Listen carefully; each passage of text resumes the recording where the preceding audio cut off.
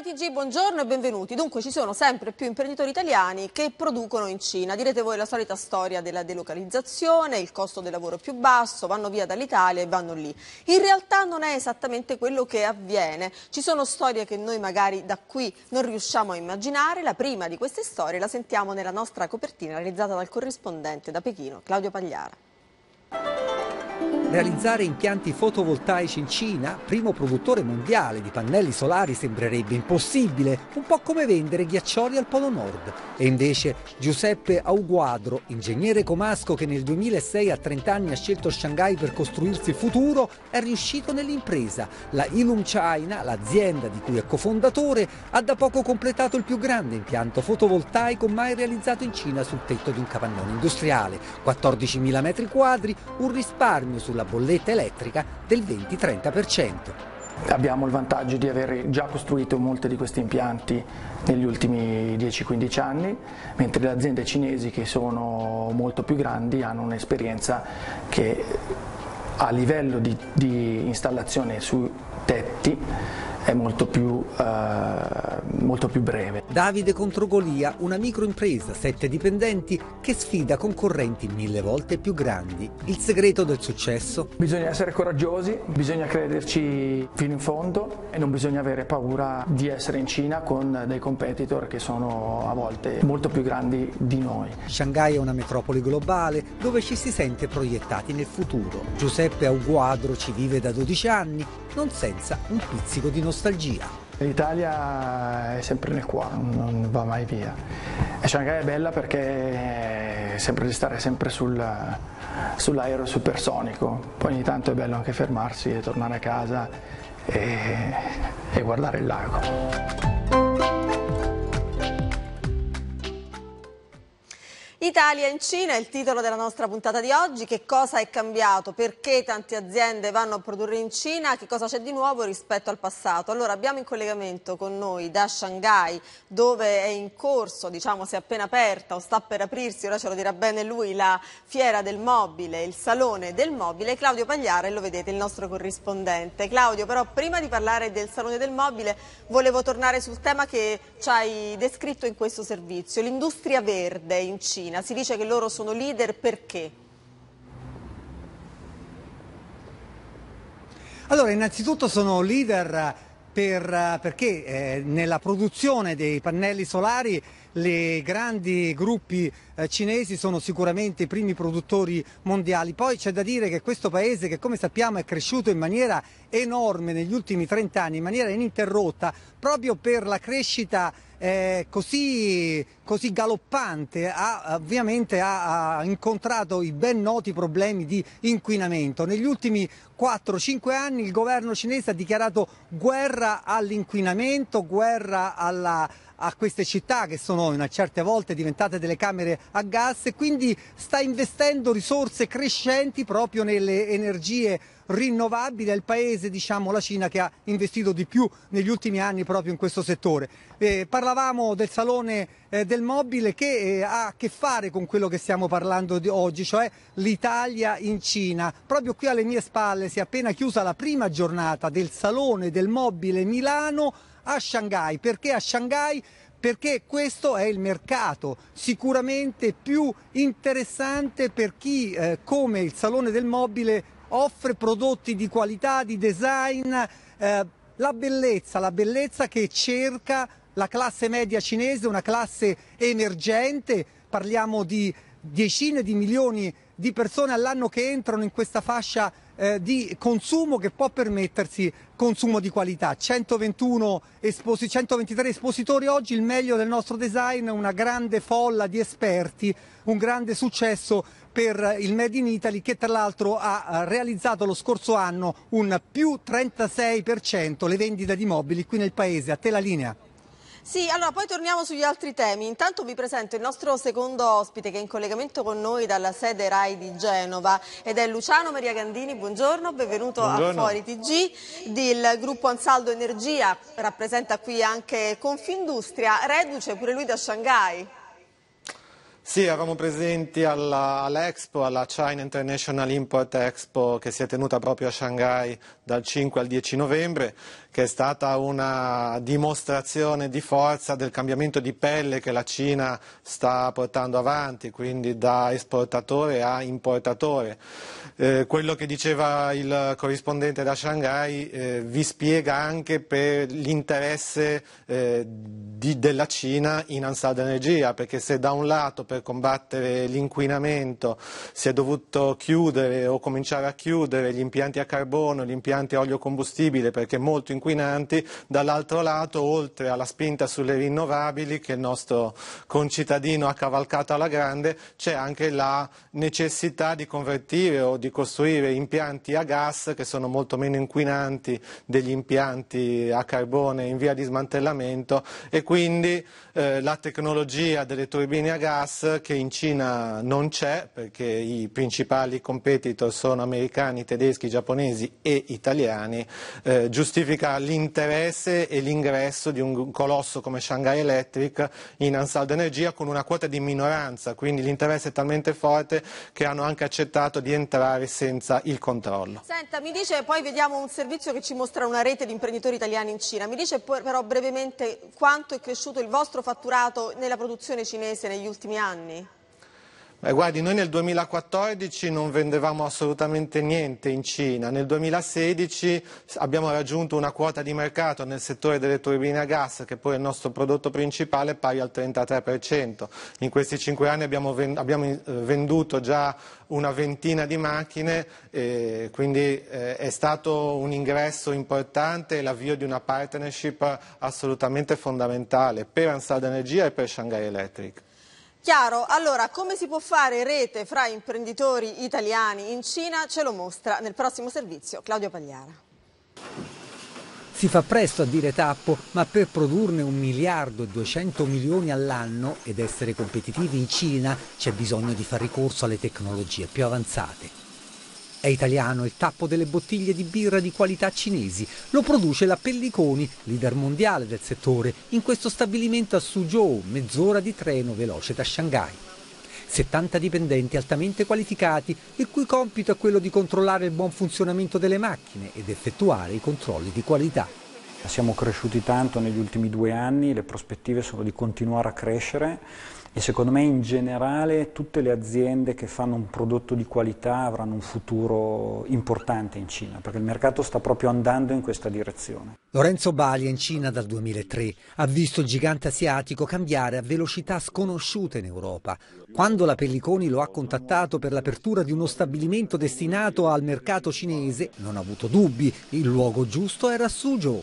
Qui infatti c'è la comunità business italiana fuori dai confini nazionali più numerosa del mondo, 100 aziende. E in un mercato difficile come quello cinese l'unione fa davvero la forza. Questo gruppo di, di aziende, poi alla fine è un gruppo di persone, si incontra, si scambia informazioni, eh, si aiuta quindi veramente facendo gruppo e facendo squadra, cosa che in altre parti del mondo non succede, forse un po' perché siamo lontani da casa, forse un po' perché siamo lontani dall'Italia, quindi questo spirito di aggregazione è, è più forte. Fino a dieci anni fa si investiva in Cina per produrre a basso costo prodotti destinati alle esportazioni. Oggi la situazione è radicalmente cambiata. I costi di produzione si avvicinano sempre di più a quelli occidentali. Si viene in Cina per produrre per il mercato cinese e si ha successo solo con prodotti innovativi. La Pelliconi ne è un esempio perfetto. A Soju produce il tappo a strappo, che per i cinesi è diventato un sinonimo di birra di qualità e per garantire la conformità del prodotto allo standard richiesto dal cliente utilizza le tecnologie più avanzate. Ed è un mercato che non ha più niente a che vedere con un mercato povero dove vendere prodotti di bassa qualità, assolutamente un prodotto, è un mercato di riferimento per i prodotti top di gamma, Quindi, e non soltanto per eh, tutti quei prodotti che appartengono per esempio al mercato del lusso come l'abbigliamento o il fashion, ma assolutamente anche per l'alta tecnologia, quindi un mercato dove eh, la meccanica di qualità, la robotica, eh, la chimica farmaceutica, le nanotecnologie, le biotecnologie, cioè tutti questi settori stanno subendo uno sviluppo incredibile perché è un mercato che, che li richiede.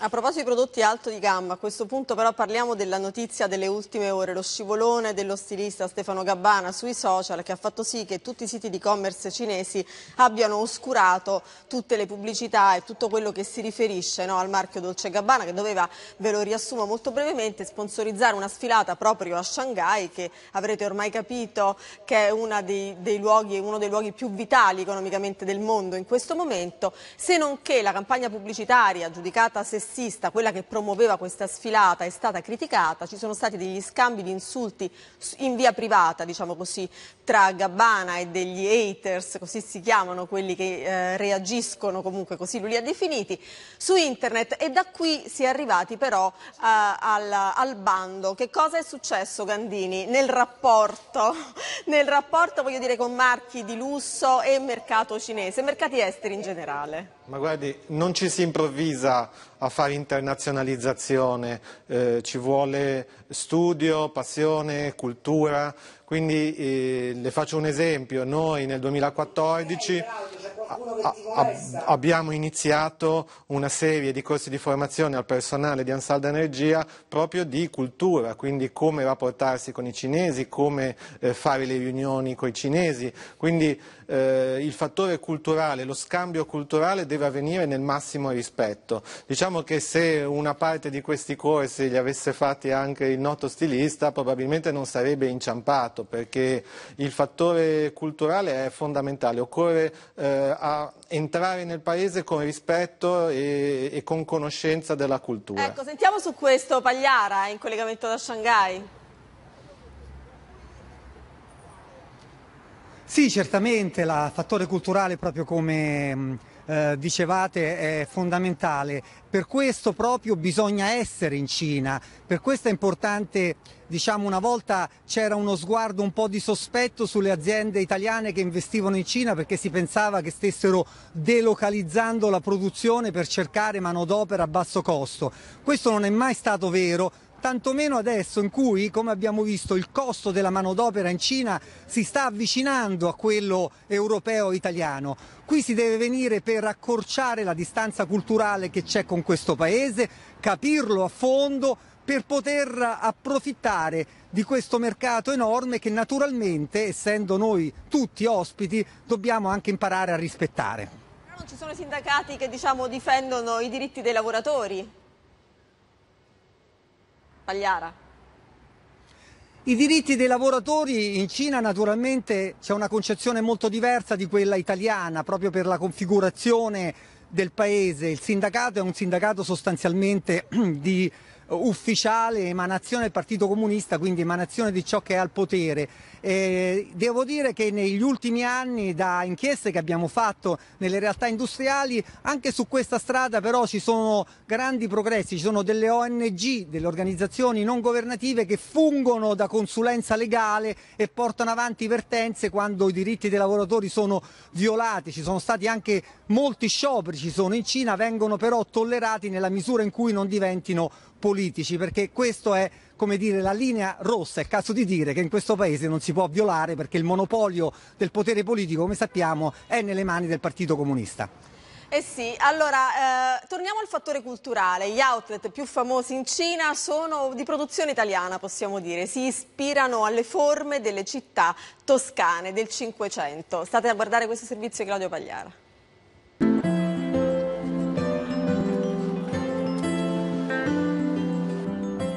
Scorci di città italiane dove meno ce li aspetteremmo, le periferie di alcune megalopoli cinesi.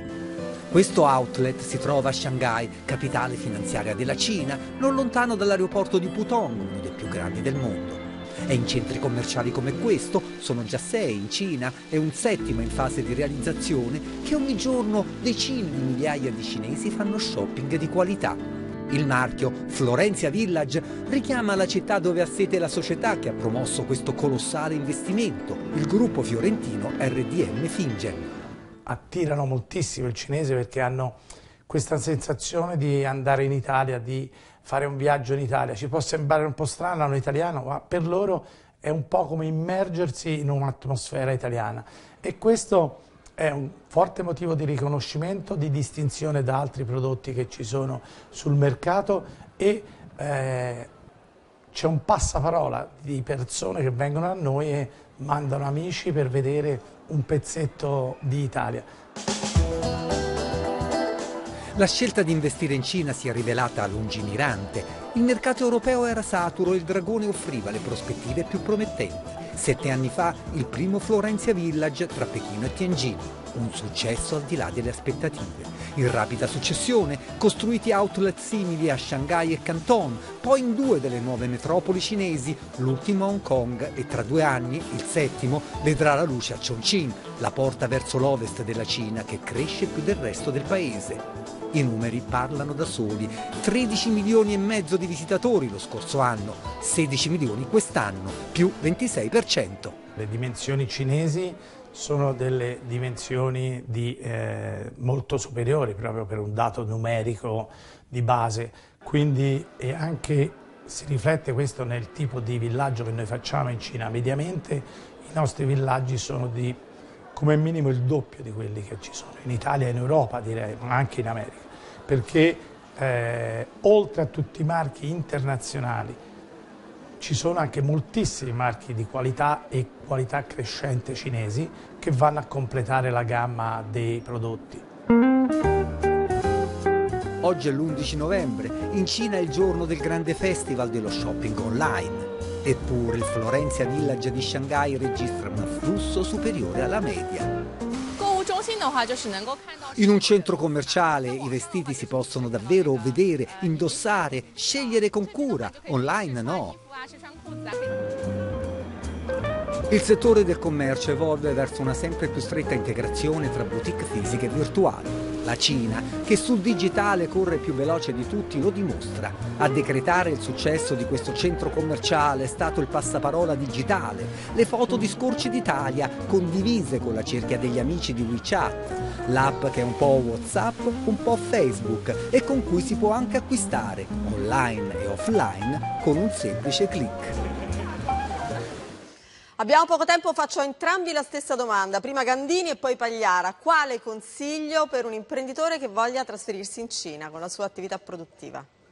Evitare l'improvvisazione, avvalersi dei colleghi italiani o, o, degli altri imprenditori italiani che sono già nel paese, eh, non essere reticente a studiare, a chiedere consiglio. Non ci si improvvisa, eh, non si devono fare gli scivoloni di cui abbiamo parlato poc'anzi. Occorre entrare nel paese con competenza, affidandosi anche alle strutture di Confindustria o di Union Camere che nel paese sono presenti e hanno una capillarità oramai davvero importante. Il sistema Italia Italia eh, si sa muovere bene dobbiamo, e avete dimostrato in questi pochi servizi che a volte lo storytelling negativo che ci autofacciamo noi italiani non ha assolutamente alcun valore all'estero. I cinesi ci apprezzano, ci vogliono, desiderano i nostri marchi e la nostra cultura che si esprime nel food, nel fashion e nell'alta tecnologia.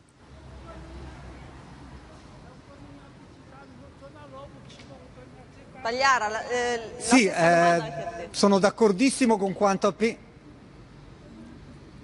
D'accordissimo con quanto appena detto, aggiungo che eh, effettivamente non ci rendiamo conto all'estero, in Italia, di quanto l'Italia sia un valore aggiunto di per sé, cioè il, la passione, l'amore e anche l'ammirazione che i cinesi, ma io ho visitato anche altre parti del, del pianeta come corrispondente RAI, posso anche aggiungere altre parti, hanno verso l'Italia. Ce lo siamo meritati nella nostra storia, nei nostri cromosomi è un grande patrimonio che possiamo sfruttare meglio di quanto facciamo. C'è da dire che la Cina è un mercato difficile, è necessario venirci dopo aver studiato. A, a, voi la linea. Grazie, abbiamo finito il tempo, grazie a quelli che ci hanno seguito, continuate a farlo su Instagram, Facebook e Twitter, ci trovate digitando Fuori TG TG3. Domani torniamo qua in Italia a parlare di imprese che cercano di farcela contro la burocrazia. A domani, arrivederci.